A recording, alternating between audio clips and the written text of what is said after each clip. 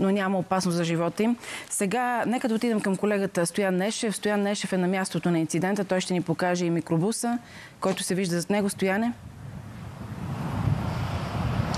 Здравейте от магистрала Тракия. Да, самокатастрофилен автобус все още е тук. Той не е изтеглен от пътното платно, тъй като в момента, както виждате, текат следствени действия, а полицията регулира движението посока София на магистрала а, Тракия. Изглежда, че ударът е бил доста сериозен и силен, тъй като страничната врата на този микробус буквално е смачкана а по пътното платно се виждат и вещи на мигрантите, виждат се куфари и а, дрехи.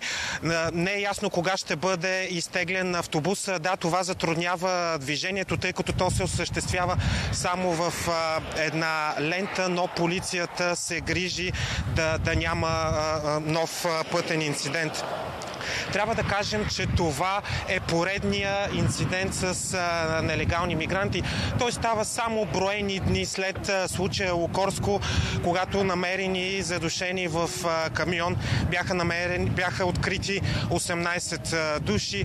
Тук жертвата за сега е, е един човек. Ние оставаме тук на място, за да проследим кога този микробус ще бъде махнат от пътното платно.